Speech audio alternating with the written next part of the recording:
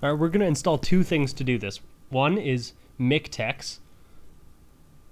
So search MiKTeX, and we'll go to the home page, and we'll go to download. And I'm not going to install the basic one. I'm going to install the net installer um, for 64 bits. I'd recommend getting the full version, not the basic version.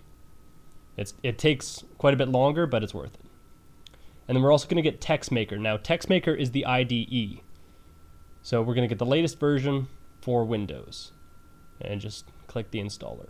So Texmaker is the editor, whereas MiKTeX is the compiler. It's what creates the program. You need both. Okay, so both after those both finish installing, we're going to install MiKTeX. So we're going to download it as well. And we're going to get the complete version. And we're going to pick our download source, which in this case is Canada.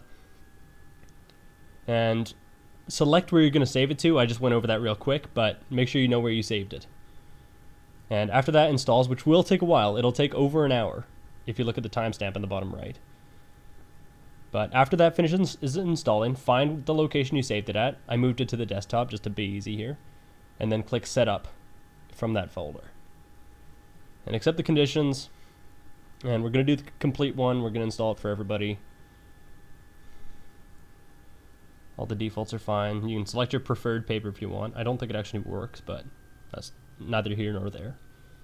Okay, and that's going to take a while to install as well, but once that finishes, that means you've successfully set up MiKTeX, which means you can actually create LaTeX documents.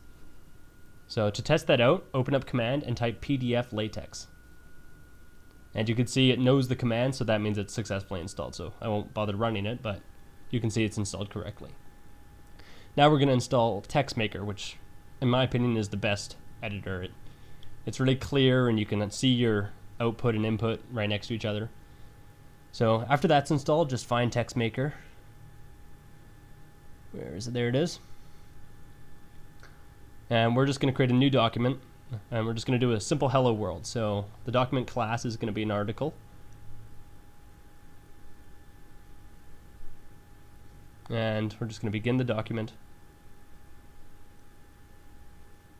Uh, and to end the document. And there's just going to be some basic content. So hello world. And we're just going to save that in my documents as hello world.tex.